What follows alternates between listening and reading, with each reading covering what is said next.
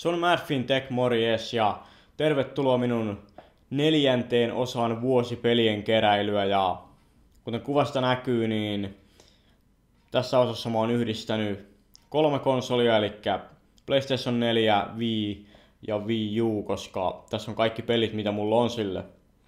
Eli aloitetaan tosta. Resident Evil Archives. Resident Evil, eli tää on siis Wii-versio tästä GameCube Resident Evil-pelistä.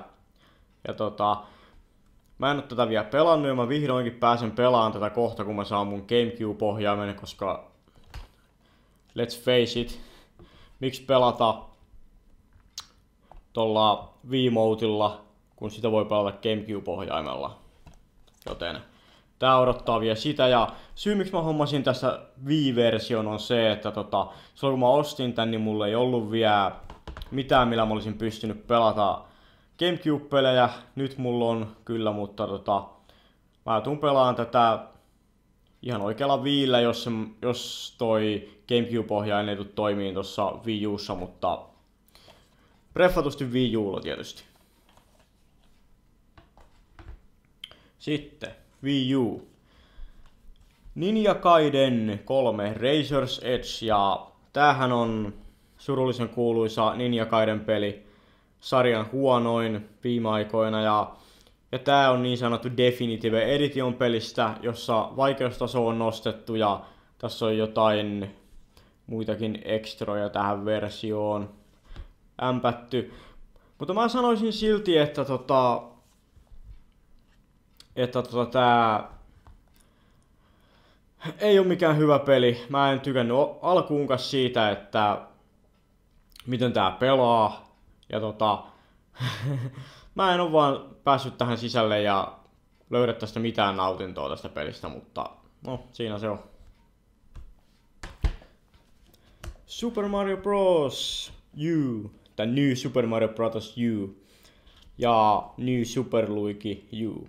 Eli tää on siis mun äh, Wii U mukana tullut peli. Mulla on siis Wii Usta tää bundle, missä tuli tämä mukana. Ja se on tosiaan samalla levyllä toi... Samalla levyllä molemmat pelit.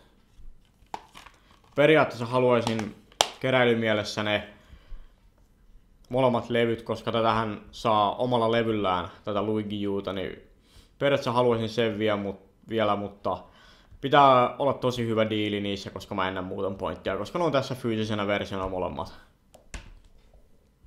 Sitten Bayonetta ja Bayonetta 2.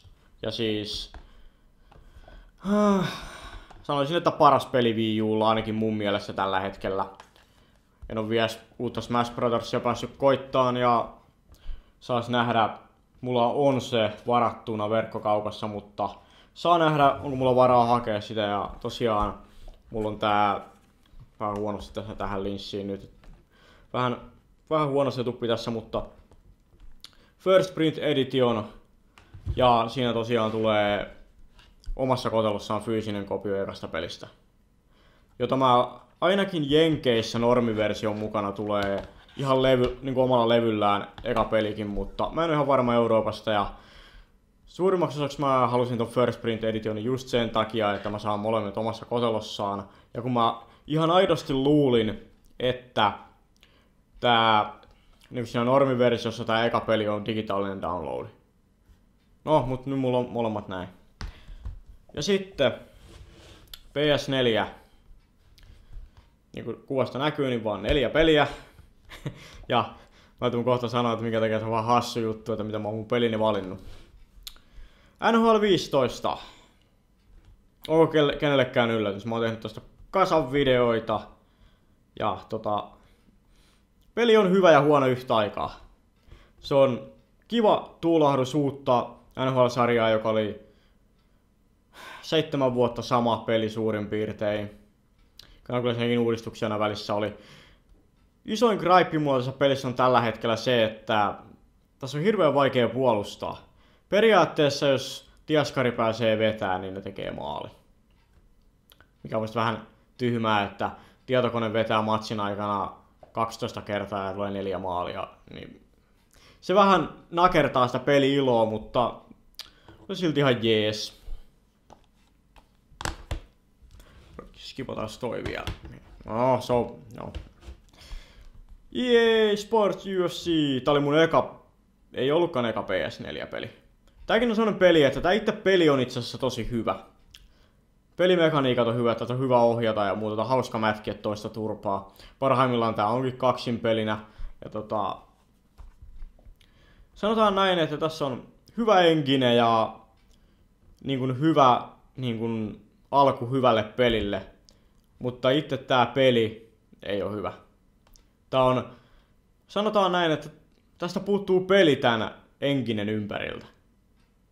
Ja nyt tullaan siihen mun pointtiin, että miettii, että kaksi poikatointunta firmaa, Electronic Arts ja Ubisoft, ja mulla on molemmilta kaksi peliä PS4.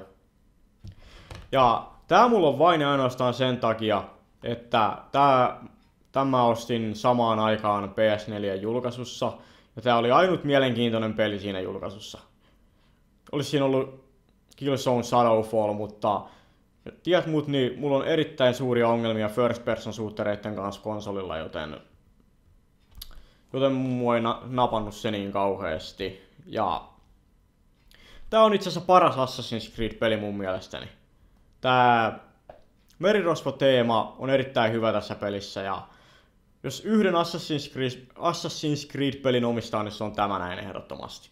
Joten mä sillä kadu mutta voin sanoa, että tämä on mun yksi ainut Assassin's Creed-peli, mitä mulla tulee ikinä ole. Mm. Ensimmäistä mä oon vähän pelannut ja tähän toistaa sitä samaa kaavaa jo, niin kuin ne kaikki aikaisemmatkin pelit, mutta kun mä en ole pelannut muuta kuin sitä ensimmäistä johonkin asti, niin mulle se ei tuntunut siltä. Mutta pääasiassa tää on vain sen takia, että kun tää oli mun PlayStation 4 julkaisussa ainut peli, mikä mua kiinnosti edes vähän. Merirosvo-teeman takia. Mm. Ja Watch Dogs, surullisen kuuluisa Watch Dogs. 60 minuuttia eksklu- eksklusiivista peliä PS4, mä en oo tiedä, onko mä pelannut tuota eksklusiivista tehtävää. Mä nämä Ubisoftin pelit on vähän siellä... Nämä on käytännössä sama peli. Mä en oikein tykkää siitä Ubisoft-formulasta ja mikä onkin mulla nyt, että Groovin jälkeen, jonka mä saan sitten kun se julkaistaan PClle, niin tota, mä en Ubisoftin peliä osta ihan hetkeä. Koska tota, mä olen kyllästynyt Ubisoft-formulaa. Kiipeen mastoa ja avaa. Assassin's Creed on täynnä sitä, Watch Dogs on täynnä sitä, uusin Far Cry on täynnä sitä. Jep, mä oon pelaillut Far Cry 4, mutta en mä ostanut sitä. Jotenkin niinku rahat on vähissä muutenkin tällä joulun alla, niin ei sillä hirveästi. Mutta mä sanon, että jos jo, jo, joku peli on ostamisen arvoinen, niin tämä. Saa myös tämän. Ja erittäin hyvä peli. Mä pistän linkin mun Bayonetta 2, no onko se hyvä video tohon. Seuraavaan kertaan. Se on PC, niitä on vähän enemmän niitä pelejä sitten, joten siihen asti, Mad Fintech out, morjens.